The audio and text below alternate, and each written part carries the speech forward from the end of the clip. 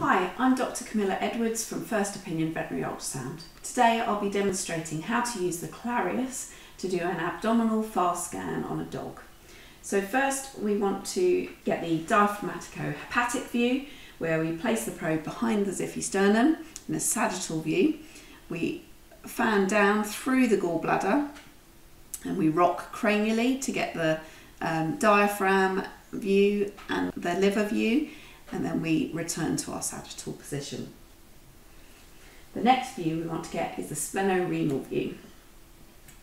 To do that, we place the probe up on the flank where we can see the kidney and the spleen. And we fan all the way through the kidney. We rock cranially, so we're seeing the cranial end of the kidney, and then we return to our sagittal position.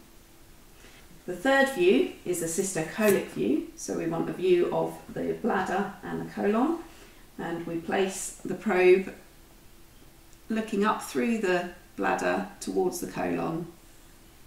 We fan all the way through the bladder down towards the table, and we rock cranially to see that cranial end um, that's down towards the dependent side of the table.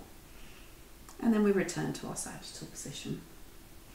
The fourth view is the hepatorenal umbilical view. And we just place the probe here, just underneath the dog. We'll often get a bit of spleen and a bit of uh, small intestines in the view. And we can fan all the way up. There we've got the spleen, all the way down through the small intestines to get the real dependent view um, where fluid will gather due to gravity. The fifth view we can get, which is a bonus view, is the hepatorenal view. So if you want to roll Peggy up, we can look up towards the spine, roll her back down again. So the hepatorenal view, got the right kidney and the spleen, uh, the liver. So we fan right through the kidney, rock cranially in that position, and then we return to our sagittal position. Okay.